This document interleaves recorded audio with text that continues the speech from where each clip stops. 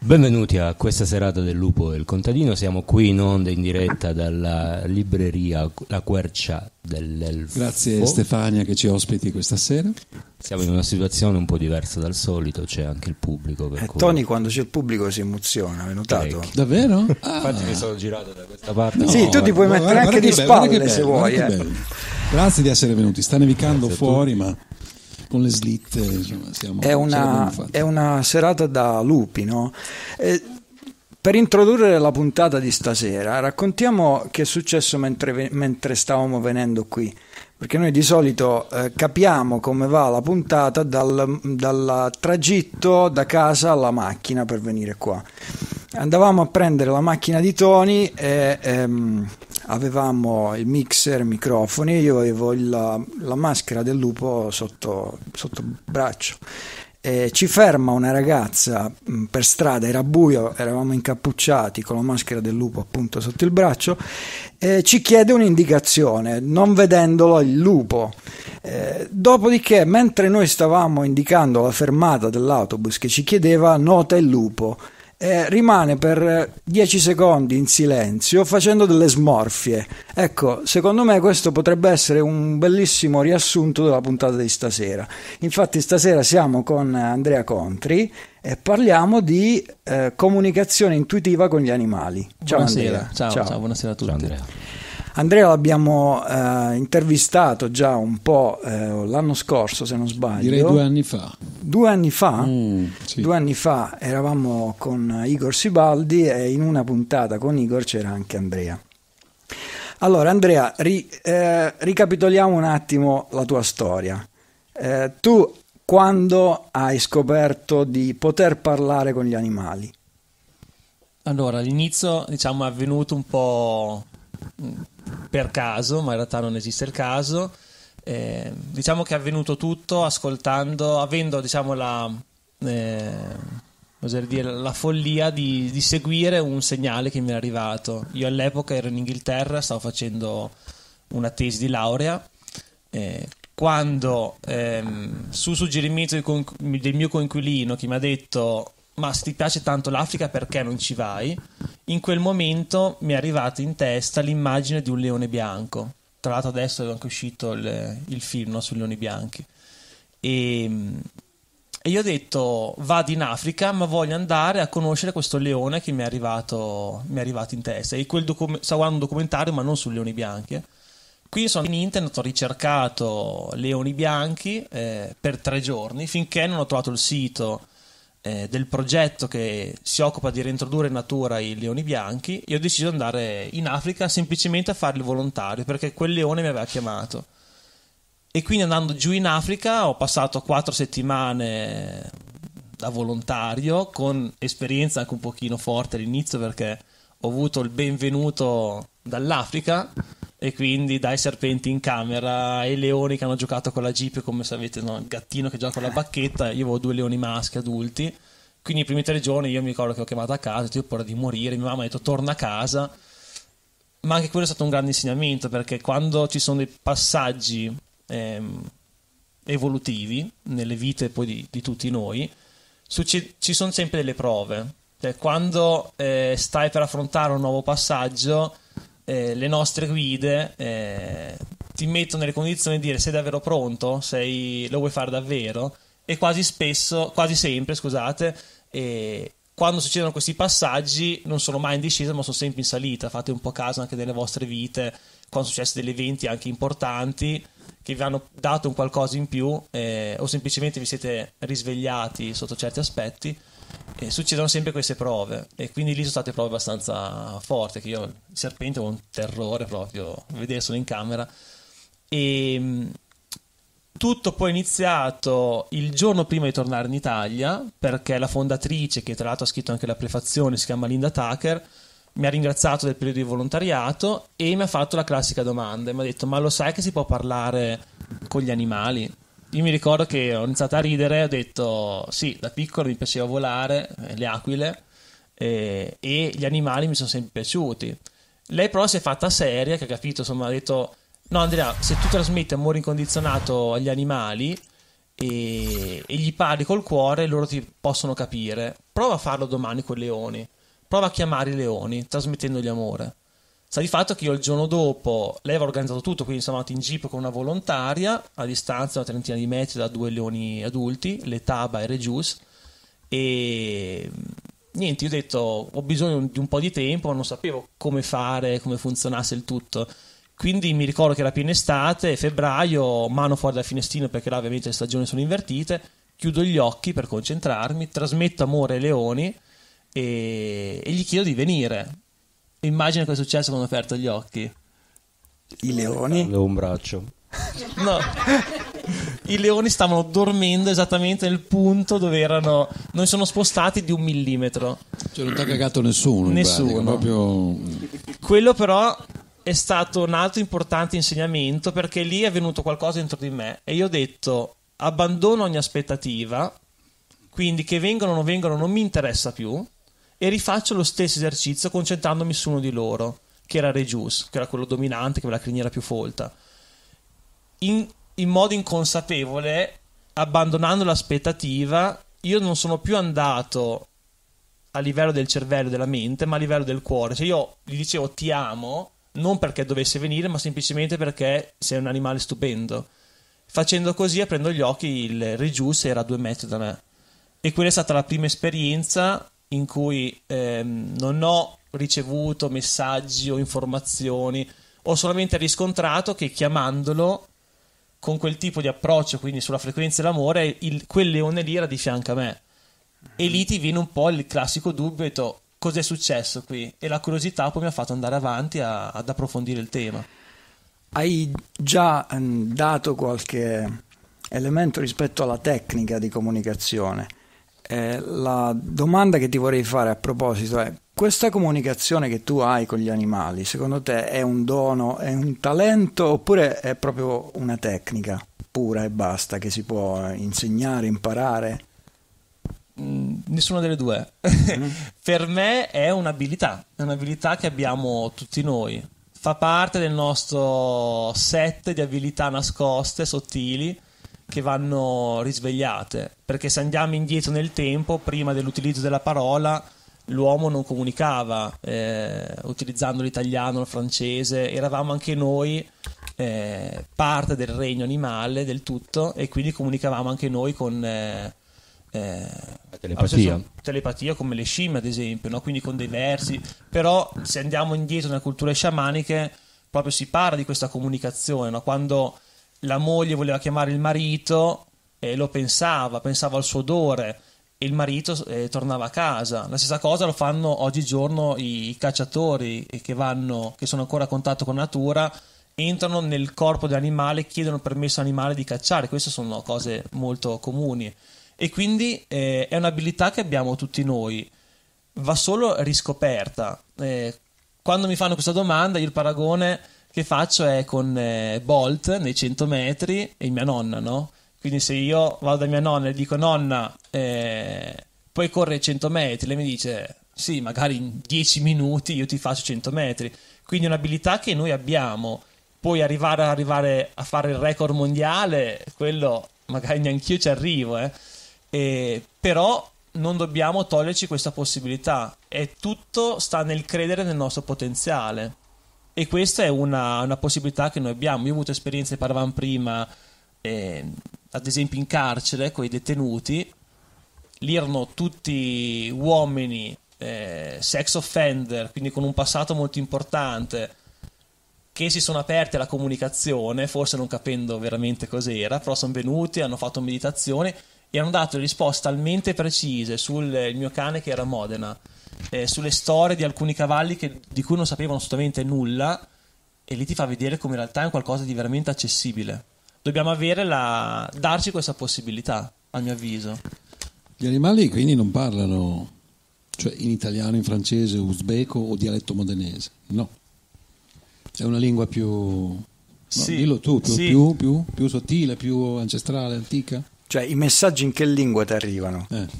Ah, in diverse lingue, in diverse lingue. Però non dipende dagli animali, questo dipende da noi.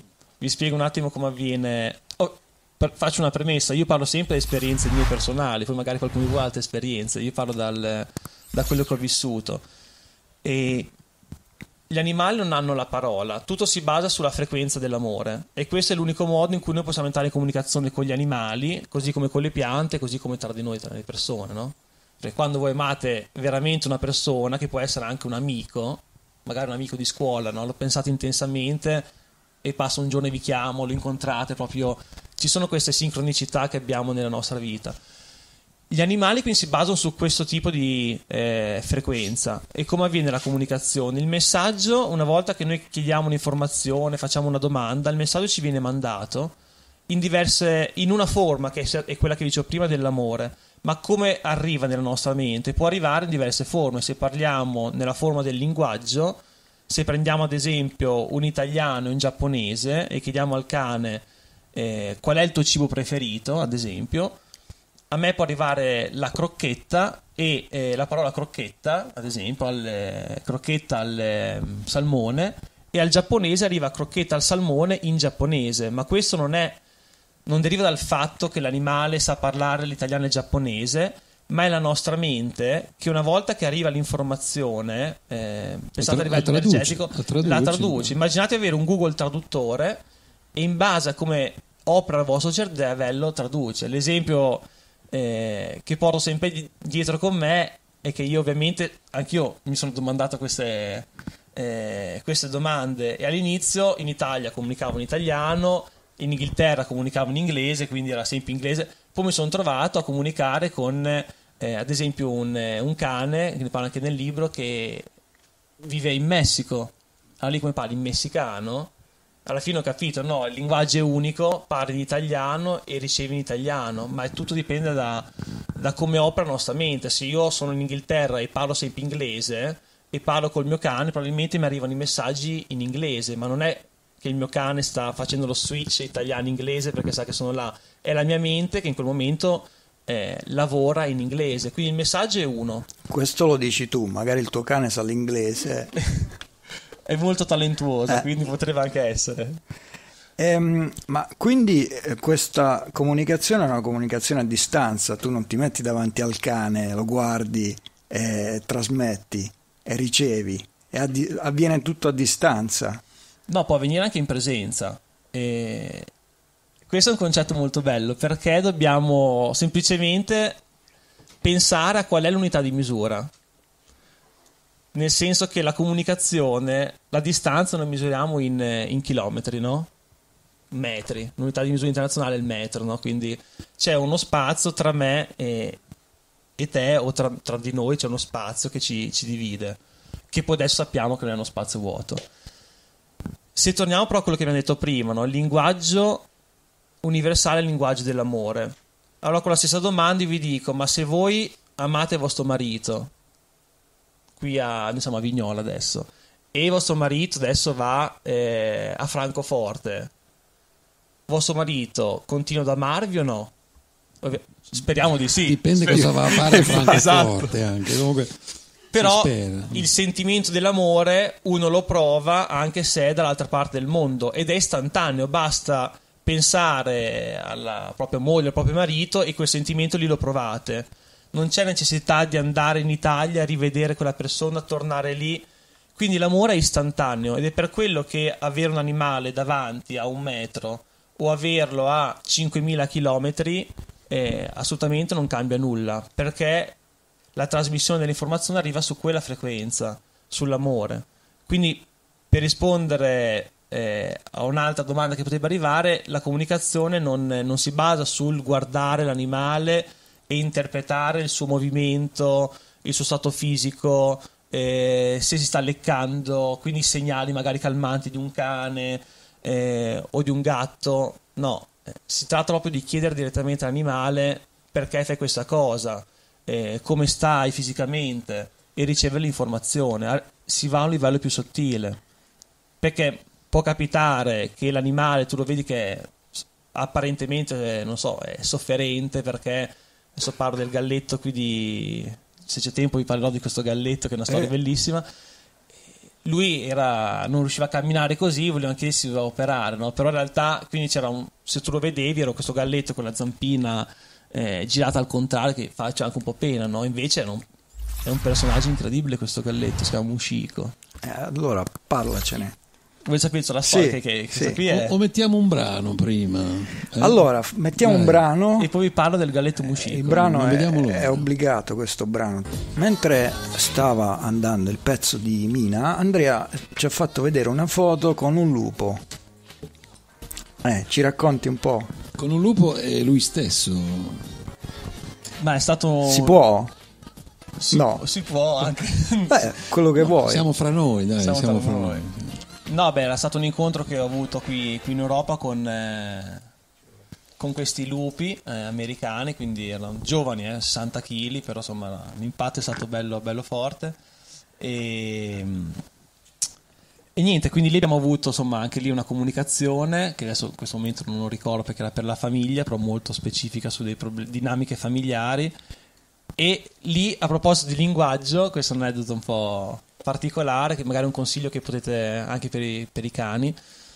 Io avevo questi lupi davanti a me e praticamente mi saltavo, continuavano a saltarmi addosso con eh, col muso proprio sul, eh, sul mio volto, no? Immaginate la testa era così, un po' di timore reverenziale c'era. E tutte queste persone che sono addentro alla- ai lupi hanno detto Andrea ti vuol conoscere perché natura come, come avete avuto esperienza con i cani annusano o i genitali o, o dietro eh, nell'ano e ovviamente io non potevo farlo perché sono vestito ha detto l'altro modo per riconoscere è la saliva.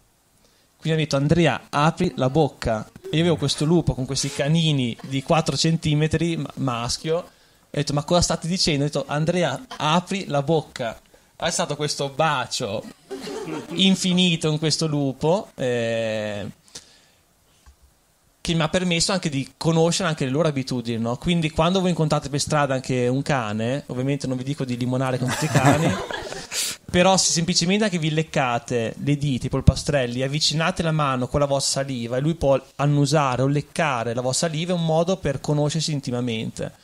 Mi è capitato, conoscendo questo, eh, questo aspetto, di andare ad allenamento e c'è il, il chiosco del- degli anziani di fianco al campo eh, chi ha questo cane si chiama Pippo.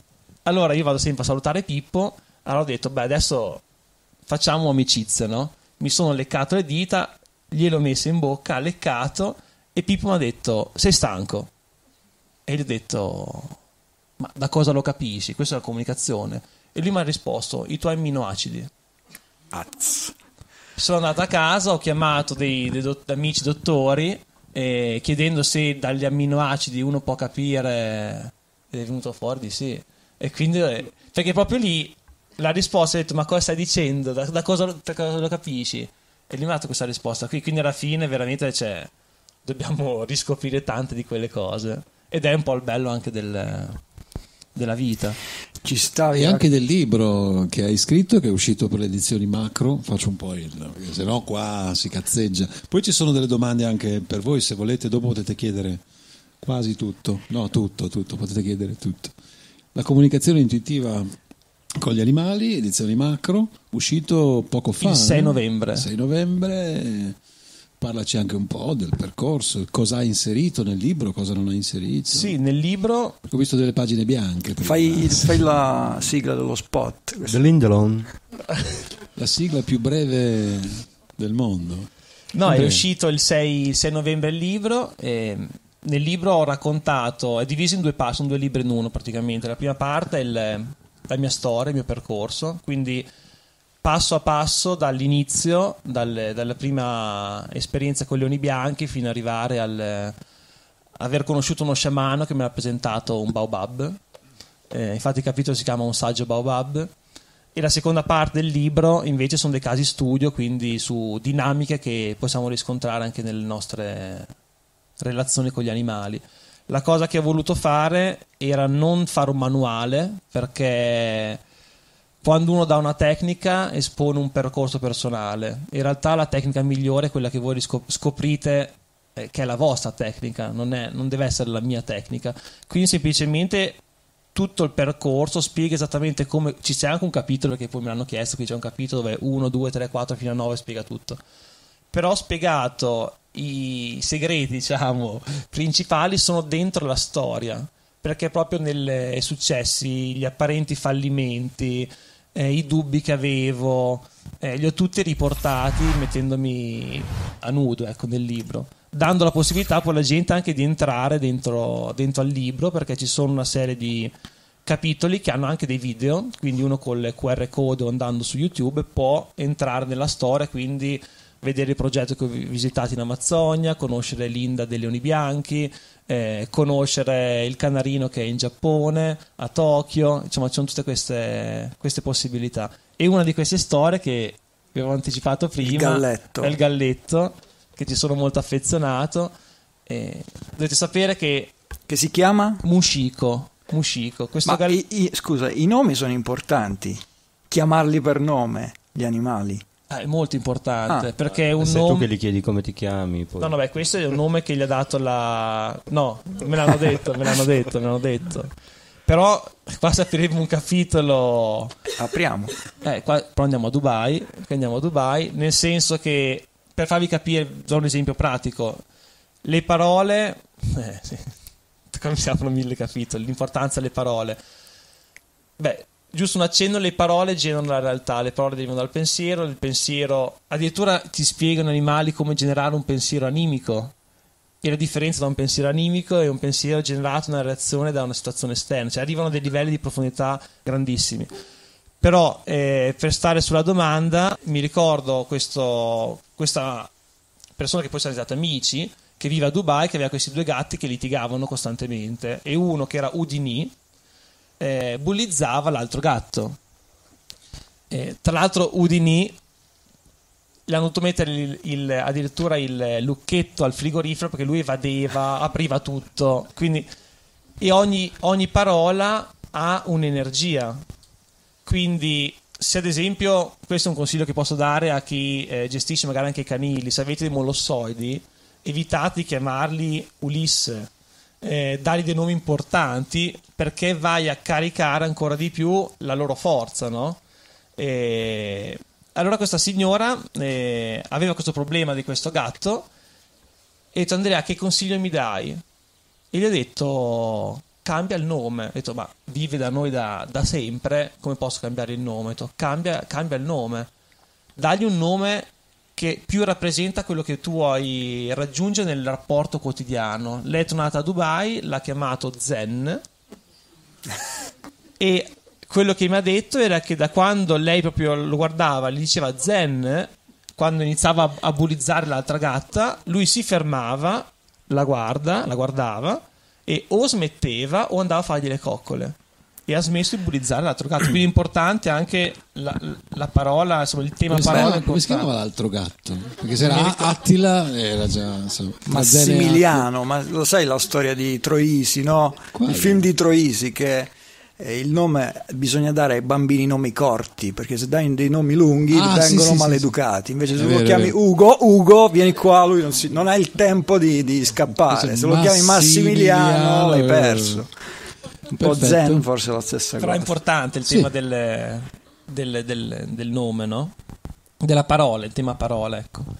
E Il galletto. il galletto. Il galletto in Africa, tra i miei vari viaggi, conosco questa persona che mi ha detto: Io ho questa idea in testa di creare un santuario per animali.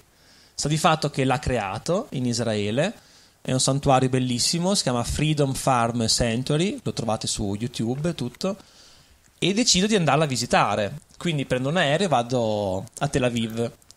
Cosa succede? Che da Bologna faccio scalo a Roma e ovviamente c'era il classico francescano che andava eh, in Terra Santa. Era davanti a me col trolley, allora si gira, era un ragazzo giovane, mi dice salve, dico salve, "Eh, anche lei in Terra Santa? Ho detto sì, sì, vado, vado a Tel Aviv, eh, va nei luoghi di preghiera e io gli dico io vado a conoscere una gallina. Allora lui mi ha guardato, ha smesso di parlare, si è girato, non abbiamo più parlato. In realtà io andavo centro a vedere questo centro, ma non per, un- per Mushiko, non sapevo neanche che avessero un galletto, eh. Però arrivo al centro e appena arrivato mi hanno chiesto di fare delle comunicazioni con una mucca, con una pecora e con un galletto. La cosa bellissima è che Hai una vita interessante tu. eh. la cosa interessante è stata che è bella che ero nel loro ufficio che era metà un open space come questo quindi c'era una parte con i computer l'altra parte è proprio divisa da dei pallet paglia e c'erano tutti gli animali che avevano disabilità quindi la mucca adesso c'ha il cariolino il, galli- il galletto era questa zampina che non riusciva a camminare come vi dicevo e, dom- e mi ha fatto sei domande per ognuno di essi il galletto la domanda clou era se mh, è d'accordo per operarlo perché ha questa, questa malformazione alla zampa. Quindi entro in comunicazione col galletto, eh, con tra l'altro la pecora che mi girava intorno, si appoggiava su di me, quindi condizioni anche non proprio ideali per la concentrazione. E praticamente la prima cosa non che mi ti dice... sei linguazzato con la pecora. Eh? No, la pecora no, solo coi cani, solo coi cani. Ok. dai Con i lupi. e i lupi. E il galletto mi dice, la prima cosa che mi dice, metto sono un generale. Al che io lo riporto, ma ovviamente ho detto, questo non lo riferisco, cioè un galletto di neanche un chilo che mi dice sono un generale. L'altro messaggio che mi dà è stato la descrizione di dove è trovato, che poi dopo mi hanno confermato. Poi mi dice il mio ruolo qua nel centro è di accogliere le persone. Quindi io, immaginatevi, il mio taccuino, io prendevo solo un generale, ho visto l'aiuola con la siepe, mi ha detto che il suo ruolo è accogliere le persone. E poi mi dice, mi parla della, della libertà, mi ha detto per noi animali qui nel centro non ci sarà la libertà per come voi la intendete, ma la libertà più grande è stata accettarci. La libertà che ci avete dato è accettare la nostra condizione. E poi mi dice l'obiettivo del centro deve essere far vedere la bellezza nelle persone e poi chiude dicendo io sono un generale. Quindi io finita la comunicazione mi sposto dall'altra parte del- dei pallet, c'erano tutte una decina di persone col cellulare a, ri- a riprendere quello che dicevo e inizia a riferire tutto. Quindi mi confermano dove l'hanno trovato, mi spiegano il perché lui accoglie- dice che accoglie le persone, perché essendo piccolino, eh, lo vedete anche su YouTube, dopo me l'hanno fatto vedere, le volontarie si mettono la felpa, l'aprono, lo mettono modello marsupio come un, eh, un canguro, lui mette la testina fuori e accoglie fisicamente le scolaresche. E quando ho detto il discorso del, ehm, della bellezza nelle persone, hanno sgranato gli occhi perché per me non voleva dire niente, ma per loro, perché il messaggio non era per me, ma era per loro. eh. Sempre così, siamo sempre dei tramiti quando si comunica. In realtà non si comunica, si ascolta. Il termine già serve ascolta. E, e mi dicono che una settimana prima, a livello associativo, i volontari hanno avuto una discussione, nel senso che i volontari sostenevano che l'obiettivo di eh, salva- salvare questi animali che arrivano da maltrattamenti o salvati dai macelli o che hanno malformazioni che do- quindi dovevano morire è di far vedere la bellezza degli animali, mentre le fondatrici dicevano no, il nostro obiettivo è far vedere la bellezza nelle persone in modo tale che possano cambiare il loro atteggiamento nei confronti degli animali, ed esattamente quello che mi ha detto Mushiko. Però la nota di, di colore che voglio riportare è che avendo detto due volte sono un generale, chiusa tutta la comunicazione, ho detto beh adesso mi sputtano, tanto ormai è andato tutto bene e gli dico anche che questo galletto mi dice che è un generale. Allora dico guarda, tra le altre cose mi dice sono un generale. È passato qualche secondo e mi dicono lo sai Andrea come in realtà chiamiamo Mushiko? Napoleone. Quindi a posteriori pensare Napoleone era piccolino, Mushiko è piccolino. Napoleone è sempre raffigurato con la mano e lui è sempre lì, quindi 2 più 2 ve la dico, se volete incontrare la reincarnazione di Napoleone, andate in Israele al Freedom Farm Center, chiedete di Mushiko, fate pure il mio nome, ve lo fanno, fatevi un selfie con Mushiko e lì si sta Napoleone in sostanza. Dovete sapere che Andrea, nella sua altra metà di vita, non so, tre quarti, fa l'ingegnere. Sì, Possiamo confermo, dirlo? Confermo. Come fai a mettere insieme l'ingegnere con eh, questo? Beh, all'inizio, eh, cioè, può sembrare. Eh, contraddi- cioè, sì, sono due mondi diversi, no? sono due mondi completamente diversi. Però alla fine mi sono dato questa risposta: è come chiedervi in questo momento state pensando di respirare? No, cioè, noi, stiamo- noi respiriamo neanche pensando di respirare. La comunicazione con gli animali è stato riscoprire che, che stavo respirando già da un po' e questo respiro è naturale. E quindi questa quest'altra diciamo mia parte diciamo la convivenza in realtà è stata adesso è, è naturale. Nel senso io sono questo però eh, lavoro anche come ingegnere perché è un percorso di vita che dovevo fare e che sono grato che sto, che sto facendo. E, e quindi alla fine riesco a combinare due cose. Dall'altro canto fare l'ingegnere ti permette anche di vivere eh, sto dando il termine un po' la terza dimensione comunque vivere la quotidianità eh, avendo anche i piedi per terra, nel senso che vai in ufficio, perché il rischio che ci può essere a essere molto di più dall'altra parte è di perdere un po' il contatto con le cose, le cose insomma, eh, terrene. comunque stiamo parlando di quello, no? Terra anche, terra. Se, anche se però abbiamo una fortuna incredibile, e io l'ho scoperta, cosa ve lo devo dire, a settembre di quest'anno. Eh, Ti per- sposi con... no. No, Un no, cane non mi col- no. sposo. Però in un'esperienza particolare che ho fatto, eh, molto semplice, nel senso che un rapporto con una ragazza, finita questa, questa serata, diciamo, io ero disteso sul letto e ho iniziato a guardarmi i piedi. Ma siamo in fascia protetta? No, si può Sì, dire. 21 e 39. No, ma non è, Eh, non è già finito. Metti il bollino, il bollino rosso. È già finito. Metti il bollino. Come, come si mette Tony il bollino rosso? Con la mente, con la mente. Radiofonico. eh. Voi non potete vedere, ma io ho un bollino rosso sulla faccia adesso in questo momento. Un brufolo. Un brufolo gigante. Sì. E in quel momento ho iniziato a ridere, a ridere, a ridere guardandomi i piedi, dicendo ho un corpo. Ho un corpo. E- ma è una cosa che è banale, no? Perché tutti noi abbiamo un corpo. Però in quel momento, è stato l'unico momento in tutta la mia vita, ho realizzato che effettivamente io avevo un corpo. Ed era un qualcosa diverso da me. E ho avuto questa consapevolezza.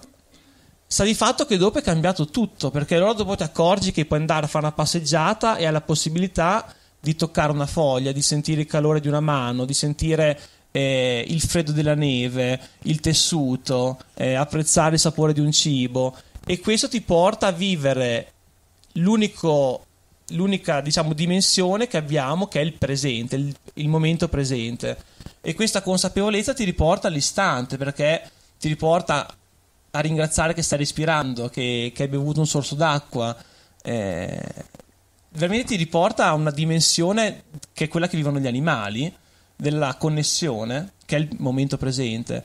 E quindi veramente riscoprire che certe cose che possono essere banali, in realtà non, non sono banali. Io per eh, più di 30 anni non ho mai pensato che avevo un corpo, ma non razionalmente, proprio arrivare a percepire che è un qualcosa di, di diverso, no?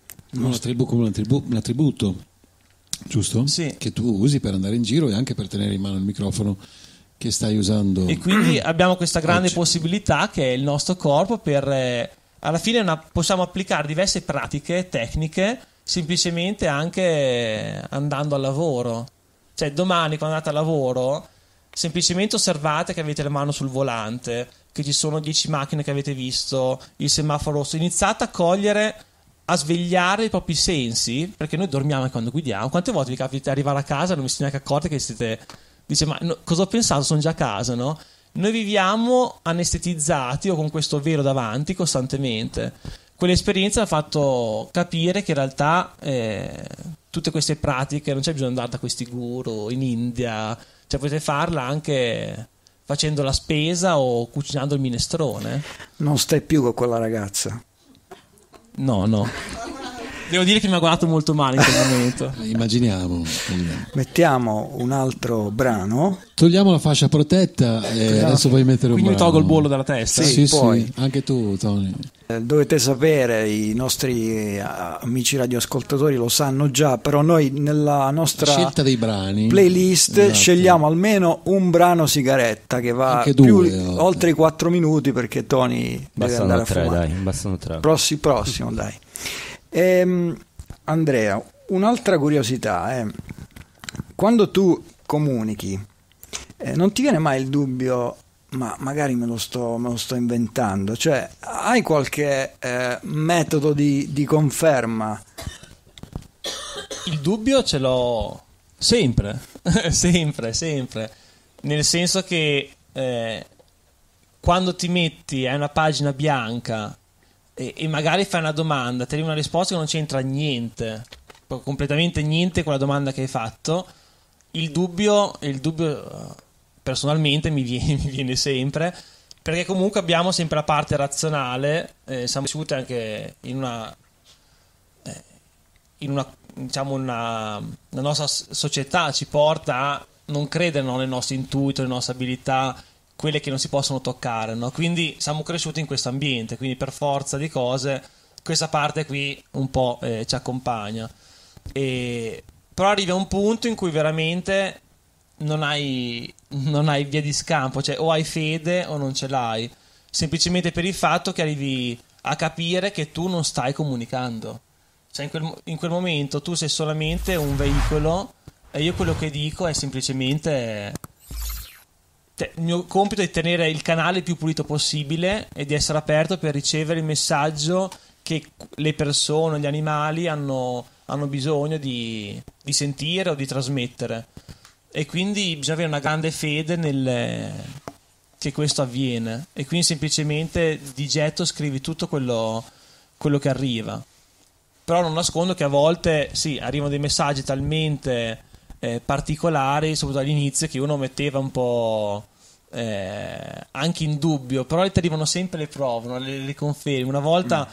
in una comunicazione con un gatto mi fanno vedere il gatto nel cartone della pizza, no? Allora la logica cosa ti porta a dire? Magari gli daranno la crosta della pizza eh, o gli piace la pizza. Però ho capito che se arriva un messaggio, se applichi eh, la logica, quindi ci metti del tuo, vai fuori strada. Quindi quello è, quello deve essere. Quindi mi ricordo che la famiglia ha detto, tra le altre cose, l'ho, de- l'ho messo un po' sul ridere, no? Perché ho detto, facciamoci una risata, di- ha detto anche cartone della pizza e la risposta è stata sì, ovvio. Ho detto, ho detto, cosa vuol dire? Si chiama Camilla questa gatta. Ho detto la cuccia. Sai di fatto questo gatto dorme dentro al cartone della pizza, pulito. E mi hanno mandato la foto perché detto, non ci potevo credere, no? E, e dorme nel cartone della pizza. Come altri messaggi arrivano a livello di profondità eh, che sono impressionanti. Sempre un gatto, siamo qua a Modena, mi chiamano perché facevo la pipì in casa e tra le varie informazioni che mi dà mi mostra un tavolo e la signora, cioè il gesto di apparecchiare e poi mi fa vedere una vetrinetta che c'era dietro con eh, le classiche vetrine con le ante. Basta, queste due informazioni. E però lì la sensazione che ho avuto, che non era un messaggio che mi ha dato direttamente, ma io ho avuto quella sensazione che quel gesto lì era fatto, però nessuno sarebbe arrivato, no? come se tu apparecchiassi la tavola e poi il tuo ospite non arriva. Quindi io riferisco ehm, a, si chiama Miriam, questa signora, l'informazione del gatto, dico guarda mi ha fatto vedere l'immagine del tavolo che mi ha apparecchiato, la vetrinetta, ed era, io ho detto questa è la mia sensazione perché non me l'ha detto il gatto, era come se questo gesto fosse fatto ma qualcuno poi non, non sarebbe arrivato quello che è venuto fuori eh, mi ha lasciato a bocca aperta, ma ve lo dico perché vi fa capire proprio il livello di consapevolezza che hanno i nostri animali. Il gatto era della mamma, è della mamma, quindi non suo, e mi dice mia mamma è da eh, un po' di anni che ha l'Alzheimer ed è da tre anni che lei tutti i giorni apparecchia la tavola perché dice che arriva il suo fidanzato che era il fidanzato che aveva in gioventù, però essendo nobile la famiglia poi hanno allontanato il ragazzo e lei si è fatta una vita con suo papà, ha avuto due figlie, di cui una è questa signora che mi ha chiamato. E mi dice la vetrinetta te l'ha fatta vedere perché nel vetro ha messo la foto di mia sorella dicendo che è la figlia che ha avuto da questo, da questo suo fidanzato che la viene a trovare tutti i giorni. Ha detto, noi Andrea sappiamo che questo ragazzo, questo signore non viene più, non, viene, non è mai venuto e che lei è mia, figlia, mia sorella e quindi l'ha avuto da, da, mio, da, mio, papà. Però il gatto non solo ha riportato un'azione meccanica che vedeva, no? la vetrinetta la vede perché è in casa, l'apparecchiare, però ha trasmesso anche il, il pensiero psicologico che aveva la, la, la, la signora che, che, si prende a cura, perché poi usare la parola proprietario è la proprietà, non- noi non abbiamo i nostri, non sono nostre proprietà, quindi so che in italiano è difficile avere una proprietà, in una parola alternativa a proprietario, no? Eh, il compagno umano, ma insomma non... Comunque per intenderci e, e quindi arrivano dei livelli di consapevolezza che a volte ci, ci sbalordiscono. Eh, Teo, un gatto di, di Catania, mi ha parlato, parlando della, di Valeria, mi dice eh, deve tornare dove ha fatto le scuole da piccola per rompere un ancoraggio che si porta dietro da allora, perché lei riponeva l'attenzione sempre e le aspettative sugli altri e quindi lei fin da piccola dipendeva dagli altri, deve tornare lì e rompere questa catena che si porta. Beh, sta di fatto che tra i vari messaggi gli aveva, che gli aveva dato qualche anno prima, li sono tutti su- su- insomma, arrivati in successione. Mi dici, io Andrea mi sono appena divorziata, eh, ho cambiato casa e non ci crederai, ma vivo a 10 metri dalla mia scuola elementare, esattamente dove il gatto diceva che doveva andare. Il gatto di Catania ogni tanto ci metteva minchia nella, nella comunicazione o no? No, era molto polite, molto Ok. educato, educato. Eh, Andrea, un'altra curiosità riguarda le differenze di genere. Cioè, tu trovi delle differenze di genere fra gli animali, di intelligenza anche diverse, fra la gallina o il leone o il cane? Ad esempio, si dice stupido come una gallina. Lo, lo ritrovi questo nel- nelle comunicazioni oppure no? Oppure è tutto livellato uguale? No, no, no, non è livellato, ma la gallina, io sono innamorato delle galline, quindi per me eh, appena sarò ricco mi, porto- mi prendo due galline. Questa è la prima, galline e asino, la prima cosa che, che farò. E no, non c'è, diciamo, non è tutto livellato, ma non va in base alla specie. Cioè non è che eh, a questi livelli, perché noi basiamo la nostra interpretazione di una intelligenza in base a un confronto, magari perché hanno un'abilità eh, motoria o hanno la capacità di determina- determinati, so, risolvere i rebus come fanno i topi, che sono intelligentissimi. Però se pensate anche ai delfini hanno dei eh, radar che neanche i militari sono riusciti a replicare, quindi eh, molto spesso com- com- commettiamo l'errore di eh, basare l'intelligenza su un confronto su delle abilità che abbiamo noi. Però se prendete un serpente che si arrampica senza mani piedi su un albero, vaci tu senza mani piedi su un albero, no?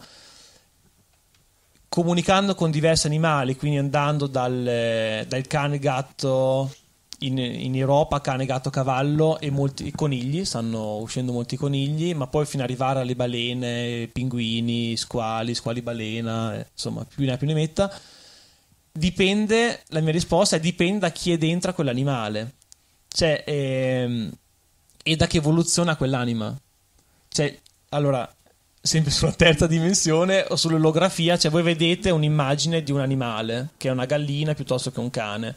Però non è tanto importante l'animale per dire comunico con lui perché è più intelligente, è un leone, è più intelligente una gallina. Dipende dentro a quel corpo che, che anima c'è e che percorso ha già fatto. Eh, io eh, mi ricordo sempre questo levriero che sulle domande del classiche, perché avevo già fatto una comunicazione con un levriero, con una- un amico di questi qui, arriva la terza famiglia, dice ok facciamo anche una comunicazione con il nostro levriero. Questo levriero mi ha iniziato a parlare dell'Egitto, di come erano utilizzati i levrieri nell'antichità, eh, sull'energia che muovono quando corrono, di come le regine si relazionavano con loro, facendo vedere proprio i geroglifici. Tant'è vero che io, eh, da, da ignorante, perché non è che ho mai studiato cose particolari, finita comunicazione ho messo levriere Egitto su Google e ho visto i bassorilievi. Dopo tiri fuori che ci sono le divinità con la faccia del levriero. E la cosa, eh, e quindi quella era un'anima evolutissima. Ovviamente, parlando con la famiglia, sono rimasti eh, un po' sbigottiti. Mi hanno detto: Fai un'altra comunicazione che dobbiamo sapere qual è il suo gioco preferito. Mi hanno detto: Cavolo, avete in casa. È come se tu avessi Einstein in casa, hai la possibilità di, di inconoscerlo, gli chiedi che numero hai di scarpe. Cioè, la cosa che proprio mi ha colpito è che dopo nel tempo hanno capito l'importanza di questo cane eh, che rappresenta per loro, sono venuti a un corso di comunicazione portando il loro cane. Quindi c'erano gli studenti, eravamo qua a Reggio Emilia, finita la comunicazione, due persone arrivano dal medico, guarda Andrea, non l'abbiamo detto perché non c'entra niente, ma io ho visto una pira- un triangolo e l'altro fa anch'io vedo sempre questi triangoli che ma cosa sono questi triangoli? Sono le piramidi quelle. A diverse ad altre persone, quindi veramente dipende da cioè, questo vi permette anche di vedere che nel, li vedete una differenza no? anche tra i cani, no? sono dei cani che hanno eh, diciamo sono più svegli, altri meno svegli, ma non dipende da una. Dipende proprio dal percorso che stanno facendo. Dipende anche quell'anima lì, chi era prima. Magari era un'anima di un gatto che si trova in un cane o viceversa ed è impacciato, no? ma semplicemente perché deve prendere confidenza. Tanti casi, fateci caso che vedete questo cucciolo che dice ma questo gatto qui c'è qualcosa che non va, oppure un gatto che lo chiami sembra un cane. Eh, e quindi in casa potreste avere anche voi come Muscico, Napoleone, chissà che avete in casa. Io ho avuto esperienza con la mia cagnolona che sto comprendendo adesso dell'importanza che, di chi era, nonostante ci comunicassi, ma nell'ultimo momento, proprio prima di, di andare, insomma, mi ha fatto capire determinate cose e ho capito che non era un'anima eh, comune, ecco. Quindi, insomma, coccolateveli e studiateveli. Bene, c'è qualche domanda? Sì, vedo le braccia che sì. Tu? Allora faccio il valletto, guarda, ti passo il microfono, prego.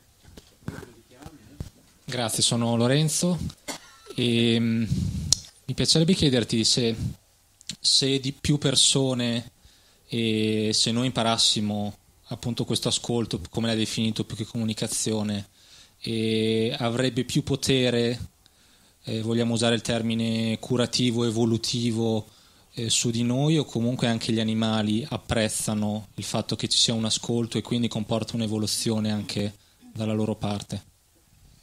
Sì, questa è una, una bellissima domanda. Dall'esperienza che ho, gli animali, soprattutto quelli che abbiamo anche in casa, eh, gli animali nostri domestici, in realtà sono loro che si prendono cura di noi molte volte quando gli parliamo non parlano di loro, anche se hanno magari problemi anche fisici importanti, ma parlano sempre di noi, ci danno consigli molto specifici. Nel, giusto per parlare del libro, io ci ho tenuto molto nel... come si chiama questo sottotitolo? Non so come si chiama. Sottotitolo. Ascolti i loro messaggi. Ascolti i loro messaggi e comprendi te stesso. Perché dalla mia esperienza, attraverso gli animali, la comprensione poi della natura, ti permette di semplicemente ponendoti nella prospettiva che si può comunicare, entri in un ascolto di te stesso, cioè entri in una dimensione interiore molto profonda e questa apertura che loro ti permettono eh, di vivere ti permette di riscoprire veramente chi sei. E quindi c'è proprio un salto di consapevolezza che le persone fanno importantissimo che poi magari non si, non si deve per forza sviluppare negli animali ma però ti inizi veramente ad, ad, aprire il cuore perché di quello che si parla e quindi può essere nella relazione con eh, i senza tetto, con gli anziani o con i bambini o semplicemente, semplicemente, che non è semplicemente, amandoci di più. Perché molte volte sentiamo questo dovere magari di aiutare anche gli animali in difficoltà, quante persone danno tutto e però ci dimentichiamo di amare noi stessi. Eh, quasi fosse egoico amare, amare la nostra parte, però in realtà dobbiamo int- riscoprire questa parte veramente divina che noi abbiamo ed è solo amando noi stessi e riscoprendo l'amore che noi abbiamo che possiamo poi donare più amore anche al prossimo. E perché è da qua che si genera l'amore, quindi se dal nostro cuore, quindi se noi torniamo in questo spazio e attraverso gli animali, per chi ha questa empatia con gli animali è una chiave eh, d'accesso, ritorniamo in questo spazio qui per poi donarlo agli animali, alle persone cambia proprio la... cioè si cambia non, come persone, come abitudini, cioè inizi a capire che il mondo è qualcosa di diverso, no? Io adesso il mio pensiero è io sogno quando dormo o sogno quando sono sveglio? Perché capisci che c'è qualcosa che va oltre. Allora dopo succede che l'acqua ti parla, le piante ti parlano. L'altro giorno sono stato a vedere il film a Maranello, eh, questa pianta mi ha detto devi tornare a casa. Torna a casa, cioè io ho iniziato a piangere da Maranello fino a Formigine ininterrottamente. E qualcosa sta succedendo, si è rismosso dentro. E perché molto spesso noi non ci ascoltiamo. E, e in questo approccio noi dobbiamo ascoltare e poi dobbiamo avere però la fede di seguire quello che sentiamo. Gli animali molto spesso in comunicazione ci ridanno conferma e ci dicono fai quella cosa che già sentivamo ma non abbiamo, seguito. C'è un capitolo nel libro che si chiama Una tigre di nome Richard e io vedendo la vita di P e ho visto questa, la scena finale, questa tigre che torna nella giungla e vedi questa codona con le, col sederone della tigre che, che sparisce ed era l'immagine che io vedevo nelle meditazioni dell'animale guida. Io per tre anni, qual è il tuo animale guida? Vedo sempre la coda e il sedere che andava via. Quando ho visto quel film lì, io pianto per un'ora in macchina perché era la scena che vedevo sempre. E io in quel momento cosa ho detto? Ho detto io devo tornare in Africa. Devo tornare in Africa. Ho preso un aereo per un, un corso di due giorni. Ho detto io devo tornare lì. sono tornato lì e era il 2013 ed è iniziato in Talk Italia qualche anno dopo ero in casa, sentivo i leoni mi hanno richiamato in Africa, era Natale e avevo tutti i miei parenti, i miei nipotini che scendevano dalla Svezia. Ho detto cosa vado a fare in Africa che, che ho la famiglia qua. Vado in un posto che ho visitato dei leoni bianchi, è la mia seconda famiglia, quindi ho visitato mille volte. Però mi mancava come un tassello in quel momento. Vado giù e conosco questo sciamano, ma non che sono andato da lui, non sapevo neanche che ci fosse e lui mi dice io sono il tuo prossimo insegnante. Anticipato tutto da un baobab che mi dice tutti i messaggi che portavano a lui. Quindi entri proprio in una dimensione bella e capisci che la vita è, è semplice è, ed è lineare. Noi nasciamo e moriamo è una linea retta da A a B. Però tutto il dispendio di energie che noi abbiamo nella vita è perché noi facciamo questo zigzag no? Perché, ah cavolo, devo fare quella cosa lì, devo fare quella cosa là. Sono tutte distrazioni. E lì torno all'importanza del pensiero, no? Quante volte il pensiero è un pensiero generato dalla nostra anima o un pensiero che ci viene indotto da situazioni esterne, quello che mi dicevano gli animali. E quindi siamo distratti costantemente e puoi tornare sempre in queste zigzag a un puntino su questa linea retta. In realtà la nostra vita è molto semplice ed è lineare, anche le difficoltà che voi avete, eh, gli animali ce lo insegnano, perché ce lo fanno vedere quante volte si prendono carico delle nostre malattie anche. E non c'è il giusto e sbagliato. Eh, è un'esperienza di vita che noi abbiamo scelto di vivere in questa esistenza e se torniamo in questa linea retta tutto fluisce. E quindi è tutto, arriva tutto arriva tutto. Grazie. Soddisfatto grazie È più difficile la comunicazione intuitiva con gli esseri umani? Ecco. Eh, questa è una bella domanda. Eh. Con gli esseri umani è... è già difficile parlarci a parole, no? Perché noi ci parliamo ma non ci comunichiamo. E... Dici no? Secondo me... Il microfono, il microfono. No, secondo me è un, non è esattamente così, nel senso che con, se uno vuole comunicare, comunica al di là delle parole, anche tra le persone. Sì, però molto spesso quello che volevo dire è che basandoci sulla parola non andiamo eh, sempre in profondità eh, e quindi ehm, il classico esempio, no? Vedi una persona come stai? Bene, stanno tutti bene, bene, bene, bene, bene. A volte però sentiamo e dice, boh, c'è qualcosa che non mi risuona però poche volte poi andiamo a fondo perché poi dobbiamo poi ascoltare quella persona se ci dice che sta male magari dobbiamo andare a fare la spesa cioè, hai detto che stai bene stai bene ci vediamo con gli animali invece ci leggono dentro e non ci sono questi fraintendimenti no? Eh, io personalmente grazie all'esperienza che mi ha fatto vivere sempre la, la, Lulu prima di morire, che ci ha fatto tirare su tutto in famiglia, perché situazione no, dove è stato un, un, un, ospedale in casa, tutti i tappetini assorbenti, eh, e il papà che sclera così. Alla fine ci siamo parlati per la prima volta. Ho deciso di parlare con mio papà e ho scoperto che non sapeva tante cose di me, che cavolo ci vediamo tutti i giorni, ne parlo a tavola, però c'era questa comunicazione che però non era c'era questa barriera tra me e lui, quindi a parole, cioè le parole giravano i progetti che sto facendo, ma io ho scoperto che tante cose che stavo facendo lui non le sapeva e viveva in casa con me. E sai che mi sono perso? Ah no, sulle persone. Sulle persone, quindi dipende molto anche dall'apertura. Gli animali sono, hanno questa grande apertura nei nostri confronti, perché quello è un modo di comunicare che loro hanno avere una persona che sia disposta ad entrare a un livello di comunicazione così sottile non è scontato. E, però mi è capitato, e questo è un aneddoto che mi ricordo bellissimo, con la mia ex ragazza che era molto incuriosita da questo mondo. Allora mi ha detto Andrea, fissiamoci una data, eh, perché lei andava in eh, Egitto, quindi il tal giorno, alla tal ora, ci mettiamo in comunicazione io e te.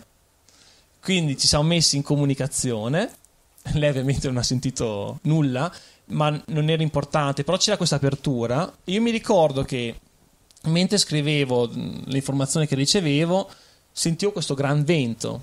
Quindi ho aperto gli occhi, adesso chiudo la finestra, mi era chiusa. Apro la finestra, c'era vento fuori, non c'era vento. Sentivo, ma sensazione del vento come se, se fossi in casa. E, e poi mi ha detto una frase molto, molto bella niente, riferendo tutto, si, chiamava, si chiama Valeria, che saluto, si sta ascoltando, mi ha detto che quel giorno lì lei era nel deserto, per la comunicazione lei era fuori dalla tenda e c'era un gran vento. E la frase che io avevo scritto era il pensiero che lei aveva avuto il primo, il primo istante, il primo minuto che mi aveva visto in una festa, era una festa. E non mi aveva mai detto, lei mi ha detto il primo pensiero che aveva avuto su di me e, e, quindi è possibile anche tra persone, quello che vi dicevo prima, esperienze quotidiane le abbiamo sempre, no? Quando siamo sulla frequenza dell'amore accadono queste coincidenze, state aper- aperti con gli occhi a vedere quando accadono. Difficilmente accade col vostro datore di lavoro, no? Che, che è, e si presenta, no? Se, è sempre quando c'è questa frequenza dell'amore. Col vostro partner, pensate avete voglia di pizza, voglia di pizza, ti vai a mangiare la pizza? Sì, eh, ho pensato un'amica vi chiama, tutte queste coincidenze avvengono, quindi è possibile anche tra persone, perché noi siamo anche noi animali, no? facciamo parte del tutto, anche noi, e quindi anche noi possiamo comunicare a livello più, più sottile e lo facciamo già. Chi ha avuto dei bambini, cioè per forza di cose i bambini non parlano all'inizio, però la mamma capisce, eh, riesce a intuire chi ha quel bisogno o quell'altro. Eh, e se avete dei bambini, non stoppateli non stoppateli perché hanno dei potenziali incredibili. Notizia recentissima, mi hanno chiamato per fare un corso con 30 bambini a Treviso il 5 maggio e non vedo l'ora di, di mettere in mezzo a questi pupazzini perché in realtà lì semplicemente è più che per i bambini è far capire ai genitori perché loro sono più avanti di me anni luce quindi io andrò là da imparare da loro e magari far vedere ai genitori che che queste cose sono possibili, perché molte volte i bambini ci, ci dicono al gatto mi sta dicendo quella cosa lì. Oppure fateci caso, un bambino che prende la spesa e la mette sul tavolo. Dal momento in cui voi dite no, perché la spesa è pesante, ti viene male la schiena, entriamo già nella dualità e quindi iniziamo il giusto sbagliato, il nero e il bianco, ma fin quel momento lì il bambino prendeva questo peso gigante, se lo metteva sulla, sulla tavola e come faceva? Eh, hanno dei potenziali incredibili i bambini siamo noi, eh? quindi la comunicazione con gli animali è un po' ritornare, ritornare bambini o ritornare a comunicare col bambino interiore che voi avete e lui vi dice tutto. Eh? Se avete una domanda, non andate a uno psicologo, entrate se avete la possibilità dentro di voi e chiedetevi cosa ho bisogno io, questa cosa qui è giusta per me e quella voce lì dentro ce l'avete, vi parla.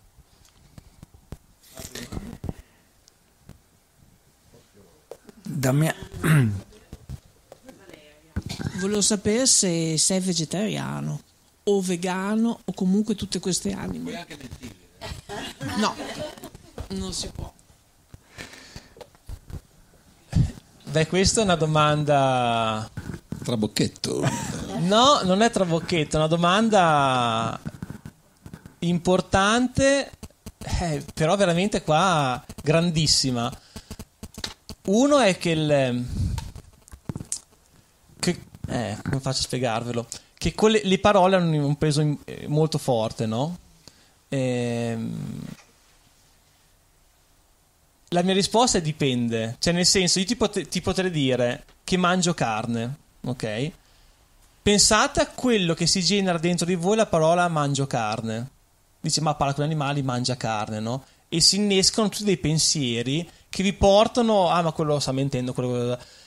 quindi in realtà innanzitutto uno deve essere pronto a, a, capire la risposta, perché in realtà è molto complessa, però per farvela breve io ho deciso eh, di non mangiare animali per coerenza eh, col percorso che ho fatto. Conosco gente che ha questa connessione e mangia carne, però se dovessi tornare in alcuni eh, progetti che ho visitato, tipo in Amazzonia, tornerei a mangiare il pesce perché non è una questione di mangiare o non mangiare, è una questione di rispetto reciproco. E io mi sono trovato a vivere in popolazioni indigene dove se non c'è l'indigeno che caccia e prende i pesci, esatto, e protegge la, la foresta, non abbiamo più neanche la foresta e quindi dipende dalle situazioni. Ovviamente qui eh, in, in, Occidente non, non, mangio carne e pesce, ho ancora questo attaccamento al, al parmigiano reggiano culturale che devo,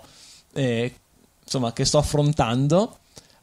Però vi voglio dire anche un'altra cosa. Quest'estate mi sono, sono andato in Guatemala a fare un'esperienza e mi hanno portato questi contadini una zuppa di mais, li mangiano mais dalla mattina alla sera col pollo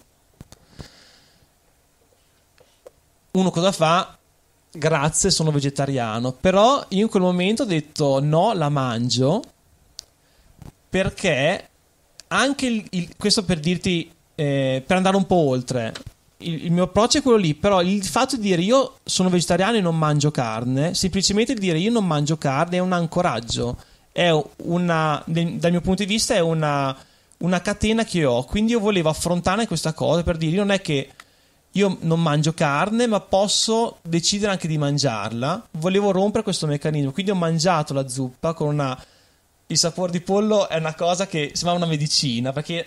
Però anche per rispetto di questi contadini che avevano solo quello, quindi non volevo anche dire questo lo buttiamo via, anche per rispetto di loro, ma l'ho mangiato con quest'ottica qui. Io nella mia vita non ho mai bevuto un caffè, perché ho sempre avuto ho sempre molto sonno, quindi ho detto io non bevo caffè così non divento dipendente dalla caffeina. In Guatemala producono caffè. Andrea vuole il caffè e, e, per me non ha mai bevuto in vita mia. Ha detto lo devo bere semplicemente per rompere questo concetto mentale. L'ho bevuto, era anche buono, devo dire la verità, e avevo sonno come ero prima. Quindi io ho vissuto fino ad oggi col concetto che la caffeina mi avrebbe portato, cioè questo pensiero mi ha accompagnato per tutti questi anni. E ho detto rompiamo questa cosa qui. Persone che stanno, mi stanno sulle scatole, che si riproponevano sempre ho detto bene, chi sono? Questa, questa, messaggino, usciamo a cena, ci vediamo. Una che ha un centro listico che proprio non mi piace, venga a fare ricorso da te. Proprio quando avete riconoscete delle gabbie che siete costruiti, proprio andateci proprio col, con l'acceleratore, buttate giù tutti questi muri. È l'unico modo per essere, per me, per essere veramente liberi. Che molto spesso ci, anche involontariamente, ci creiamo delle, delle gabbie, delle catene noi e quindi sono vegetariano con questo approccio, sì. No, perché abbiamo parlato non di animali, ma di anime, quindi non aveva senso mangiare. Mm-hmm. Però anche, anche, le piante potrebbero, no, fu per dire. Eh, è il pino che ti ha detto devi tornare a casa, anche lui. Tornare da tua famiglia. È vero sì. che non mangi il pino. Però, il pino ancora no. Ancora no, ancora però no. insomma ma si aprirebbe un altro capitolone eh sì, aprirebbe... lo lasciamo. Però carità, comunicano anche le piante, eh, anzi, sì, hanno sì, una comunicazione incredibile. Adesso, adesso per scherzare, con la lattuga non ci ho mai parlato, con gli alberi, con gli alberi, con gli alberi sì, eh, dei messaggi incredibili, dei messaggi incredibili. Non so se la lattuga ci parla con te, visto che di solito ti trovi a quasi a mangiare. Eh. Magari parla dopo, eh, cioè chissà. durante il processo di, di gestione. Dammi... Così. Altre, altre? Ti sei lanciatissimo, sei. abbiamo la, la, diretta, abbiamo altri sì? tre minuti. Tre minuti, va bene. Magari Andrea Poi dopo, da, dai risposte vogliamo... un po' più... Eh, eh?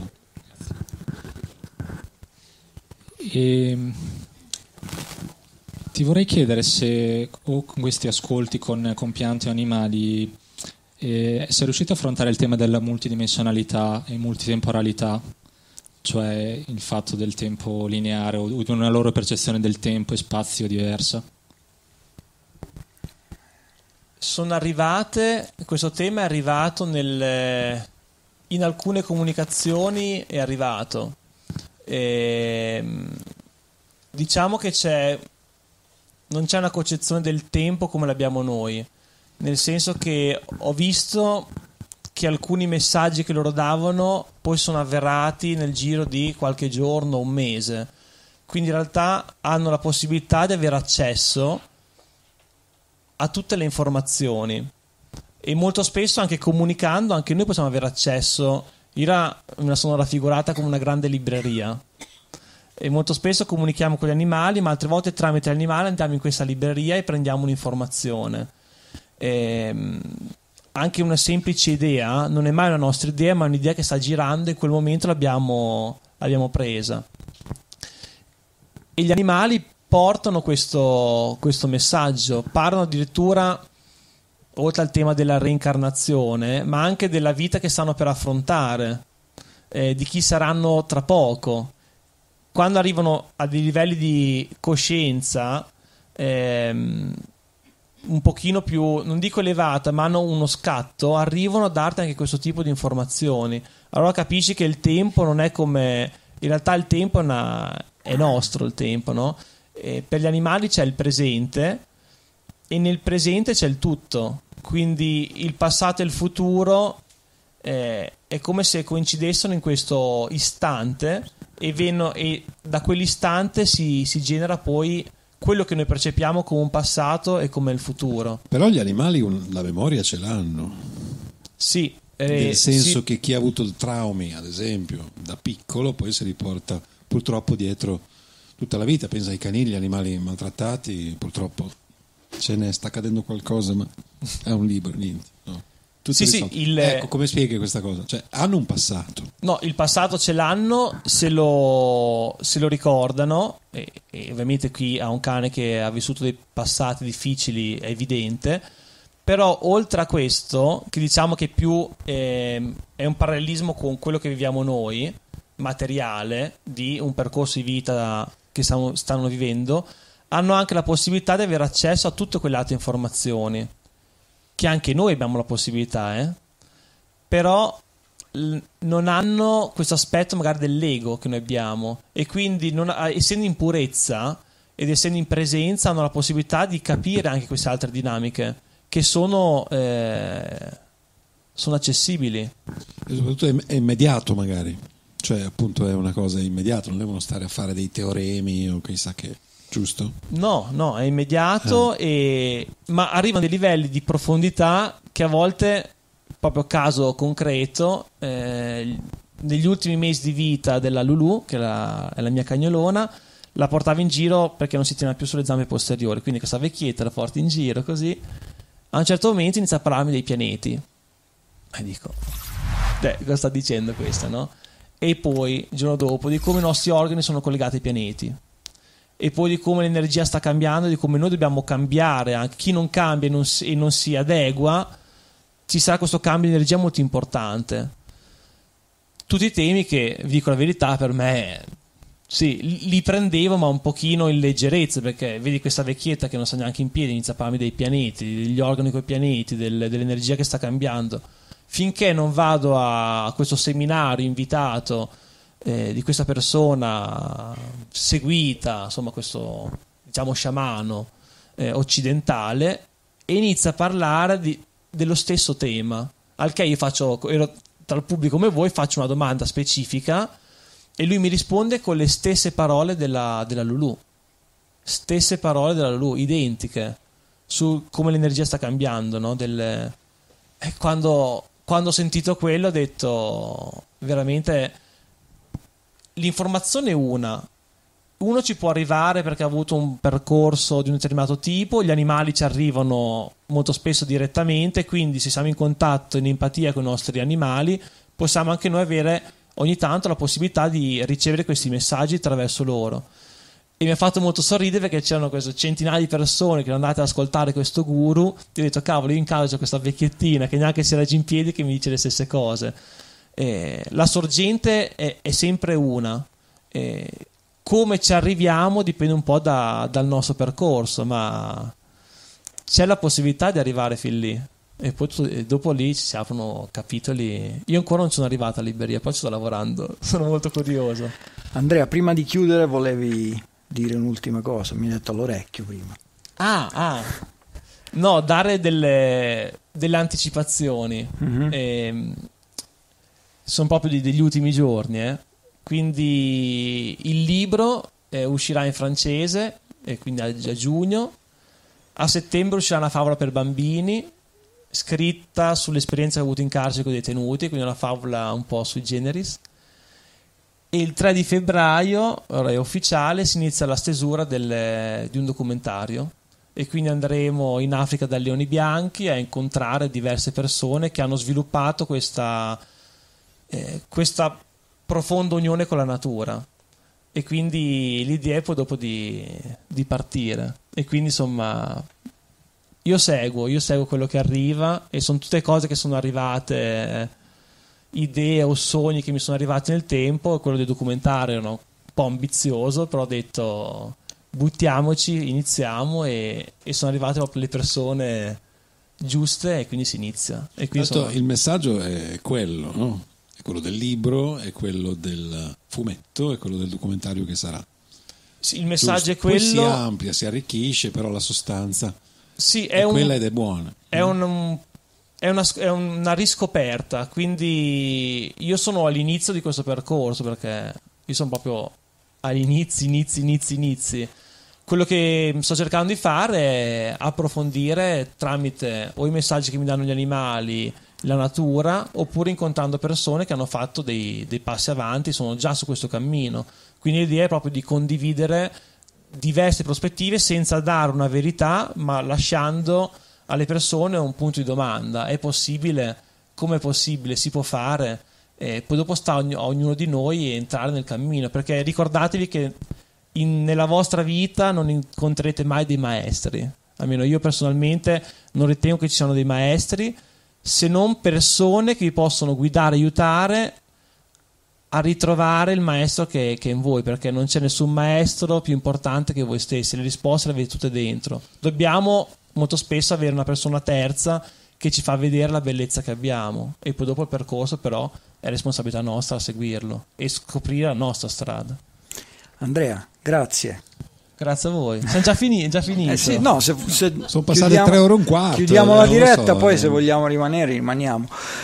Eh, noi di solito quando facciamo le dirette in libreria finiamo così, prendiamo un libro a caso, Tony leggerà una frase a caso da questo libro e sarà il, mes- il nostro messaggio in codice, si chiama- la rubrica si chiama Messaggio alla cazzo. E la nostra rubrica, e questo è il messaggio codice. per gli ascoltatori, vai Tony, mi raccomando, eh, il libro è importante, il titolo, lo puoi dire? Eh? Dopo. Grimm aveva ragione, lì dentro non c'era granché da ricavare. Il poliziotto se ne stava a guardare Bora con i gomiti in fuori e i pollici nella cintura dei pantaloni. Un messaggio criptico, però forse roba- per la polizia, per la radio della polizia. il Ah, sì, sì, esatto, esatto. La notte delle stelle cadenti. Bene, Di, di Fratelli Grimm. Ben Pastor. Ben Pastor, va bene. Sellerio editore, no? Sì. Esatto, abbiamo detto anche un altro libro. Va bene, Bene. comunque interessante.